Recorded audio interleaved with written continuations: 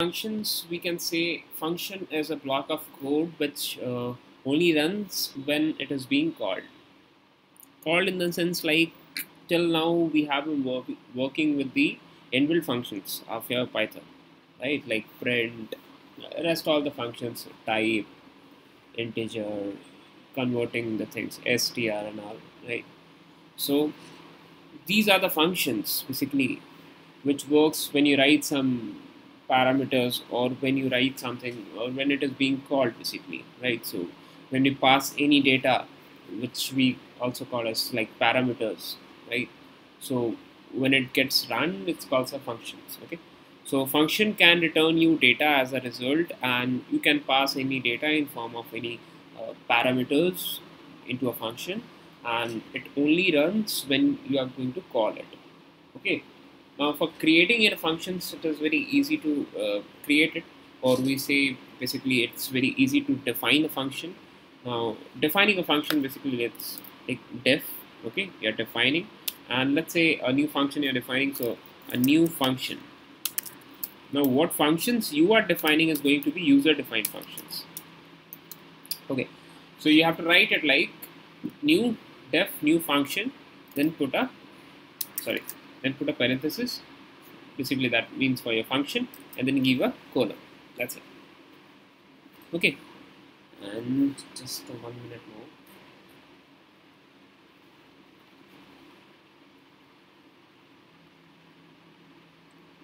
Okay okay. Just a minute. Okay leave. So def new function and then you can press tab. My tab is not working for now uh, you can uh, press your shift plus tab to look on after you make a function. Then you can uh, press shift plus tab to see what exactly the function working is okay? So like def new function i'm making and you can make this function for anything. Like uh, we can just print that whenever this function is being called it will print that this is a new user defined function. Very good. And you just run this? That's it. This is the working of uh, defining a function right? So like uh, now if I write new underscore function and I run this I'll get this printed. That is this is a new user defined function. Very easy. Right? This is again uh, let me connect me the external keyboard so that I can show you how tab works.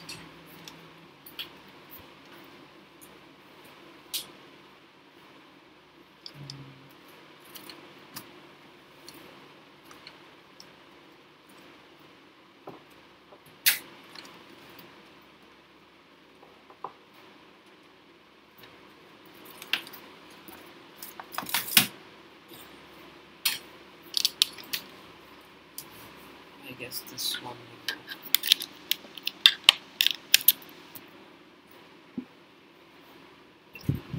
Okay, let's see if it works.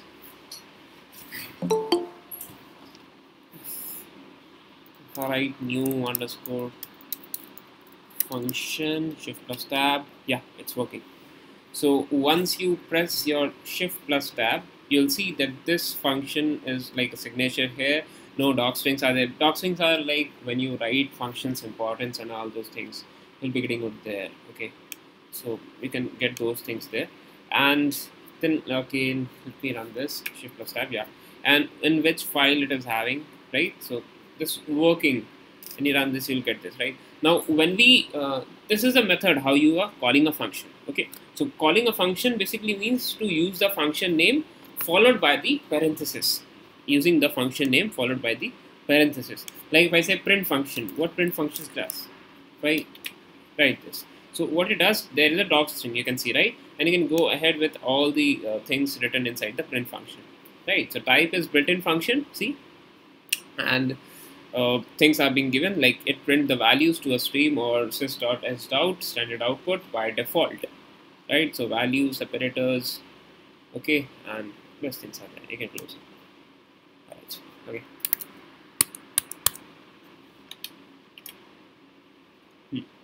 so this is like creating a function and then calling a function. Two things, easiest ones. Okay, move on. Now, inside a function, sometimes you call some arguments and some parameters. So those are the datas, or you say the informations that you need to pass through the functions, right? So the informations that we pass through the functions are called as arguments. Okay, so here I write it.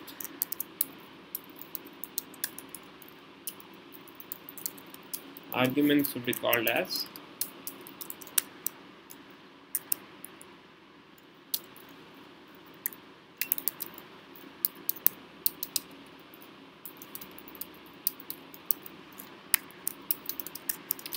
data passed into functions.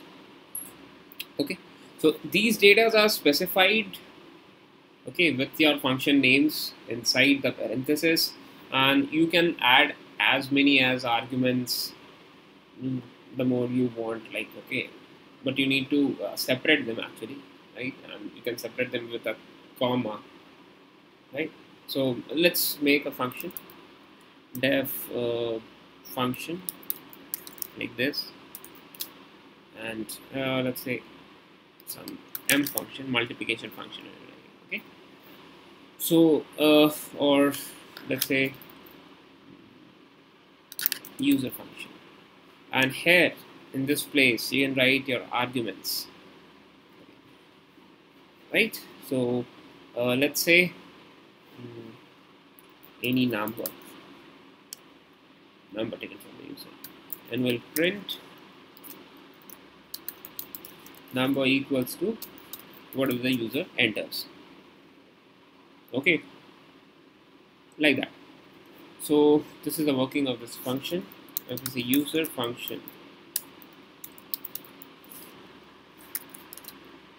uh, see now you run this and you find a type error that gives you that user function missing one required positional argument that is your number right? Uh, otherwise, you can go with the shift plus tab to see that it has user function and inside this a parenthesis and if it gives something like that, yeah, it's a type of function which is an uh, user defined functions.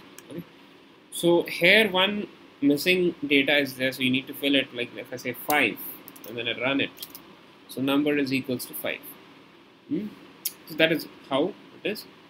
Now you can write anything like uh, user now these are very much useful when you be, be going through the projects I'll give you some sample projects how to go like if I say user function 10 so number is equals to 10 understand right so these are user defined functions. You can make calculators a lot of things using this. So arguments are often shortened to uh, say as like args sometimes you'll find args sometimes kwargs and all. Okay? All right Now, uh, when we say arguments and when we say data and when we say parameters, all these are same basically. Okay. So if we see it from a function perspective, we'll say that a parameter is a variable listed inside a parenthesis in the function's definition. And the arguments will be saying it as the value that is sent to the function when it is called. Right. So number of arguments can be given as many as we are going to give. Right. Now, let's say um, in the same function user function here if I make some changes here in this below here I say number one let's say n1 and n2 so I'll say here number 1 is equals to this and number 2 is equals to this right? Now this could be this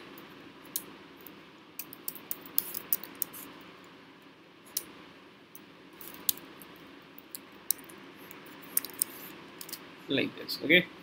So if we call user function and run this two missing requirements okay? Now let's say 6 and 7 so again number 1 and number 2 is equals to number 6 so where is the number 7 input I have oh okay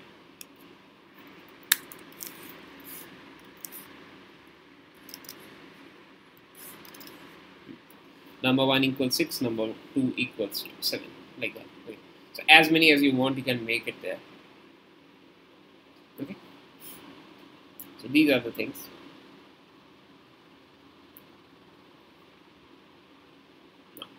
Sometimes there can be some keyword arguments. Okay. So that can have some value syntax or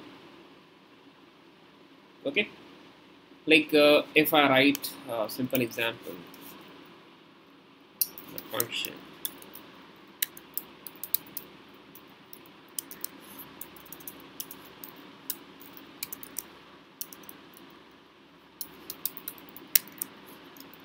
Okay. And parameters if I write it like n1 n2 n3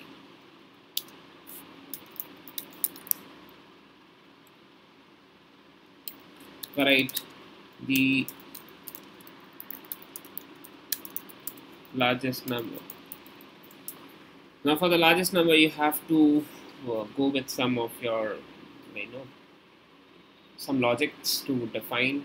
You can use if and else to get out all the things number n1 greater than n2 n2 greater than n3 and you can get out with the results. Okay. Like that. Uh, for now i'm giving n3 that's it. Because I will be entering in such a way. So if I say my underscore function. And I say 1, 2 and 3 obviously the largest number is equals to 3 okay? Like this.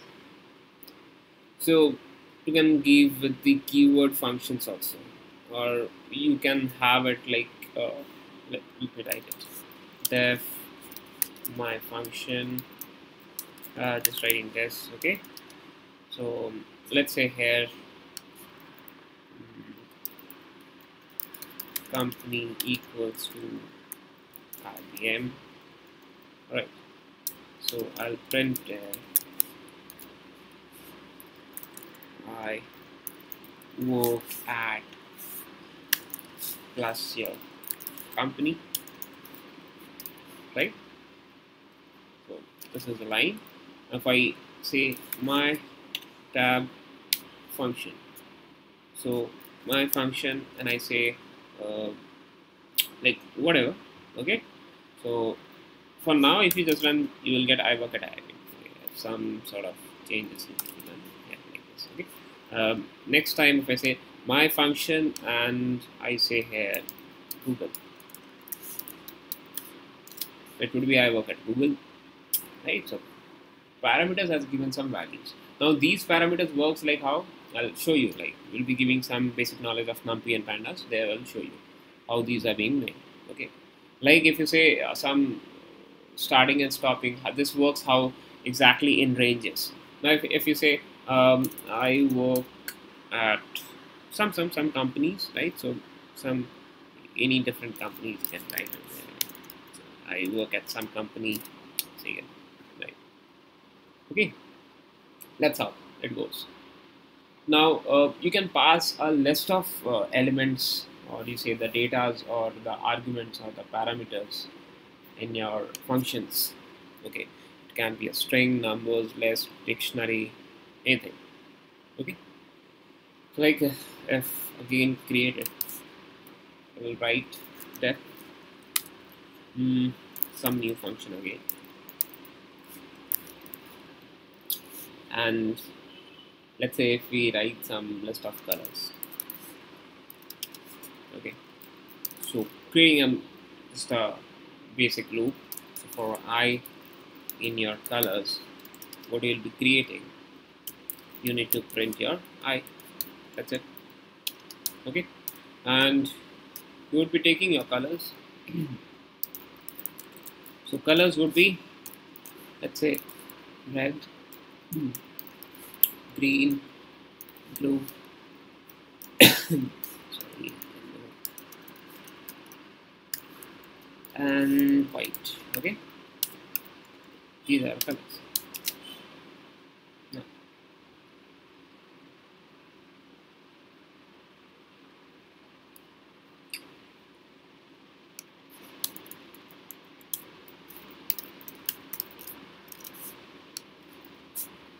I write new function of colors. So find red, green, blue, yellow, white. Now, even if it is not equals, so basically what is the difference that there is a parameter. Now, if some parameters come here inside this function, what should be the working? It should go inside the loops. That's it. That is the working of this function. Okay, right? So like this, you can make a lot of uh, your own functions and you can go with the things. Now, instead of printing every time, we can have something different uh, word that is called as returning the values. So if you want that your function must return you something, so you, you would be using a statement called as return statement. Like if I say multiplication function, m from. If I say fml okay? And I taking parameters x and y. So I need to return x multiplied by y. That's it. Very simple. If I write multiplication of some numbers right? Wait, uh, just run this you'll be getting 2 and like this right? And you can go I have to see what exactly how it works. So this multiplications and all right so if I'm doing this, uh, so multiplication of 2 comma 3 will give you 6. It will return you the values. Okay. Like this, uh, I have given you one thing like a pass statement, right? How pass statement works. Okay. So functions definitions, right? Define uh, definitions pass statement is just used as a null statement you have seen also right? so if you don't have to do anything you can just give pass because that will do nothing and you have seen it right? So these are the important things inside your functions right? Okay.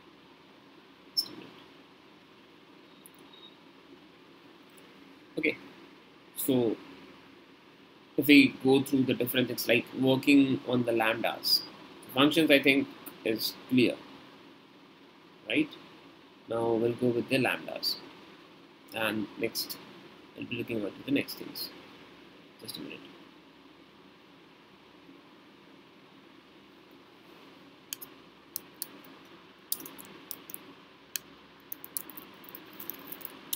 Now like very similar to this function, something is there called as lambda. Now, a lambda is also a function you can say, right? So lambda function is a very small anonymous function. Okay, so it can take any number of arguments, like in the functions we were giving, right? So it can take any number of arguments, but the expressions what we are writing here, like this, right? Expression should be only one okay? So like syntax could be we can write as many as arguments but only one expression. This should be kept in mind. Very important.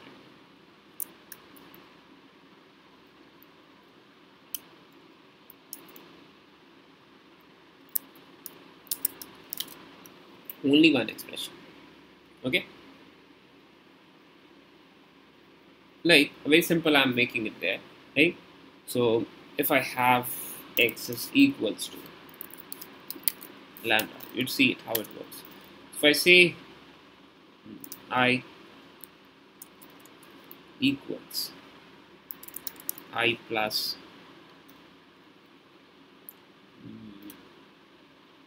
dot. Let's just take it dot okay print x of uh, hello. It will give you hello dot. It very simple. Hmm? so basically what you're doing just uh, think it as a function. Like if you see it something as uh, taking lambda i and then inside this think it like this okay. So what the work is just i plus dot that's it. So any parameters of i would be just being added with the dot. And you are writing x of this function. Uh, basically x is your function you think like that right? So x is your lambda function and x of i you are giving as hello. So very simple it is. I guess right? And the example i will give you like uh, multiplication we just did right? So we can take some uh, m is equals to lambda functions okay and we can give some two uh, variables x and y. And we would say the working of x and y is just to x multiplied by y that's it. And now we would be printing that m of 2 and 3 gives you 6 I hope it is clear. Right? Lambda of x and y just the same thing just only there is a def definition uh, changes right? So ml of x and y return x multiplied by y. Same thing. See lambda of x and y just you have to return this. See this is your return symbols. And return x and y and just print it there. Using the function you are using ml23 here you print m of 2 and 3 and you will get the results. Okay? Additions you can do it. Like uh, lambda. Now you want to add some two three five numbers. You can a b c d right? So these are a lot number of your arguments. Now you have to give only one expression. So you can what you can do is a plus b plus c plus d. And you need to print ad of like I mean 1 2 3 and 4 so I get the result. That is 4 plus 3 plus 2 plus 1 like 7 plus 2 9 plus 1 10 okay? So now you might have question why do we actually use this right? So the power of this lambda is better shown like when you use them as an anonymous function inside some other functions right? Like if I say def uh, function and returning a lambda function. Okay so like um, some subtraction I'm doing s minus uh, any parameter if you take it here. Let's say i the parameter s minus i. Okay now you see it how it works. If I say my function and I take 5 uh, just a minute oops sorry. There needs to be some function over there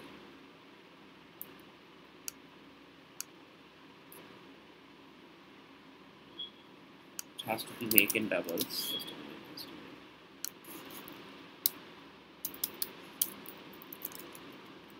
Oops. GU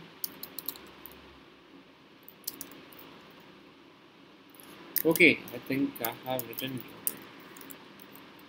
it. It will also not work I guess. We function function of i is main function lambda yes okay fine. Yeah. Now if, if the same function I use here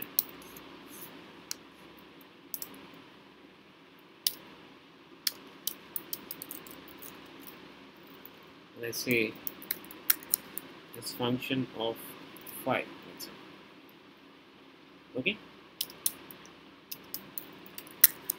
If I print my tables of 10 I get 5 you get exactly what, how it is working. So i is s is your basically a number.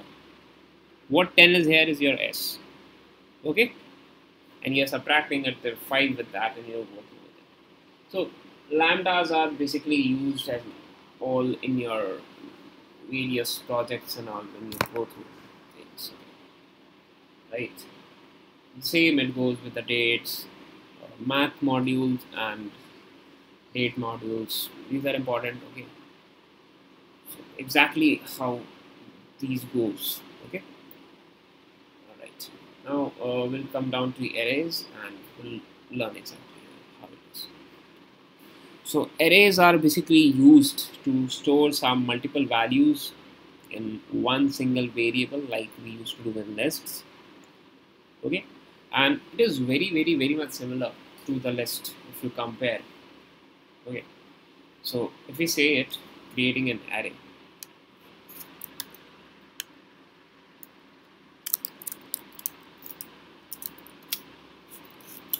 So I'm creating the colors.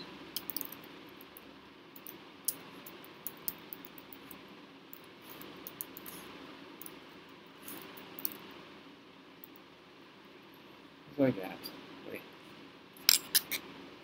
so this is an array. Hmm? if you say. Right? So it is a very special variable that can hold more than one value at a time like a list. Okay? So uh, like if I say it uh, colors. Indexing you know right? 0 1 2 3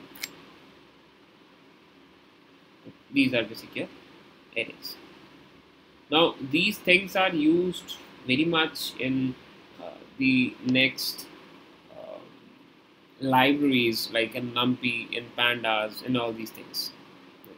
There these are used in very much sorts. And but there you have to import things like okay let me write as as import. These are a package libraries okay basically used for numerical pythons right? So there we used to basically go with the arrays. There we define that this is an array of a numpy okay? So like numpy of array of 1 2 3 4 5 numbers are there okay? Here you say array of 1 2 3 4 5 it is not defined right? So you need to define other things. Right you go with the arrays help of what is an array we get the module array completely things over there so this is array how it works sign uh, just type codes eh, eh, because array has got a lot of things to do.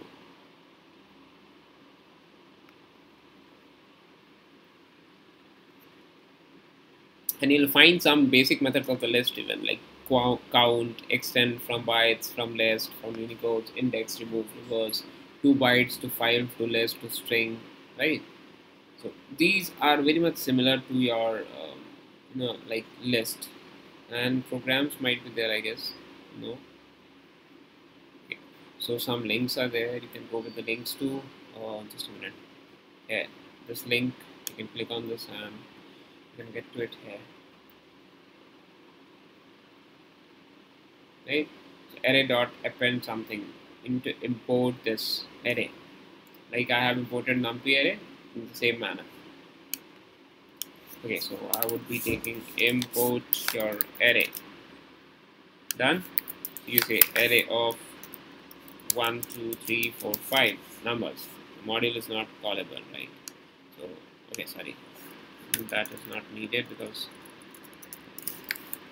just take it like this still it's not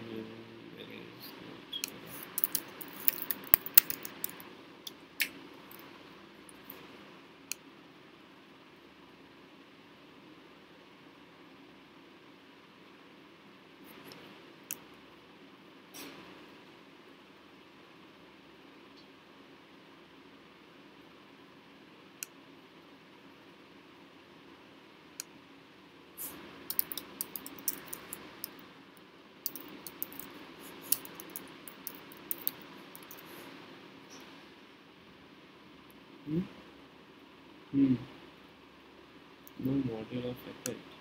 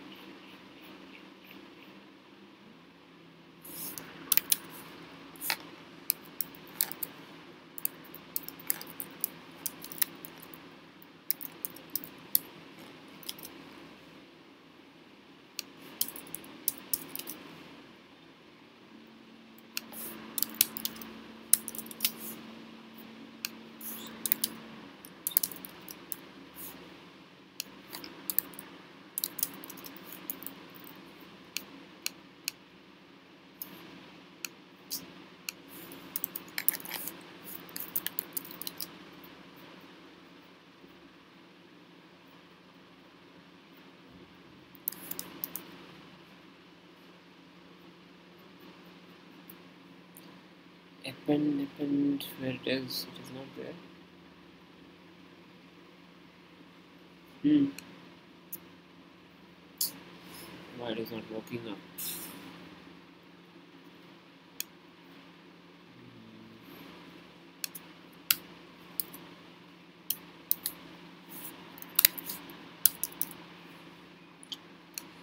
no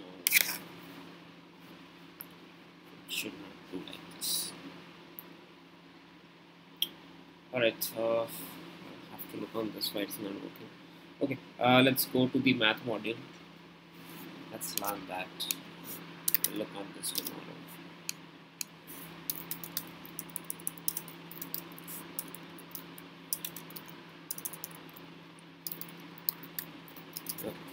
Now this is a module inbit function right again okay. So basically what we do in the math module is finding square roots finding maximum finding minimums cumulative frequencies standard deviations okay? So the built-in functions for this math one is your uh, your minimum and maximum variables finding up the things over there absolutes and all okay? Like if I say a lot of numbers are there one two three four five something like this now if you need to find the minimum of this you can get one you need to find the max you can get this easily. You need to find uh, some square roots. You need to do math.sqrt no that's not exactly this. You can take any of them like let's say 8 so get the values okay? Or you can take some absolute values or you can take some power functions math dot power function 2 to the power of 3 gives you 8.0 okay. Like that. And you can get ceil or you can get floor. This ceil for question will be coming in your Microsoft examinations. So there is a function called as ceil basically that methods uh, rounds a number upward to its nearest integer. Like if you write nearest integer right? So math dot ceil of 2 it would be 2 now if it is 2.3 nearest integer would be 3 right? So not lesser than the number. Try to understand. Okay? If it is 2.1 nearest would be still 3 because it cannot return you the less number. Right? Not less than the number entered 2.9 would also giving you 3 okay? So what is the right maths.ceil of minus 2.4 giving you minus 2 because minus 2 would be the greatest number. Right? You will be getting this question in your Microsoft examination. Surely you will get this. Next is your floor. This rounds a number uh, lesser than to the nearest integer and like if I write uh, 2.5 sorry. So we're getting 2 2.9 2 minus 2.9 minus 3 okay? 72.9 72 and if it is 72 you get 72 like that and if you're finding any square roots or you're representing some areas pi r square and all see begins pi maths dot pi multiplied by some radius let it be 2.5 square. That's a result. And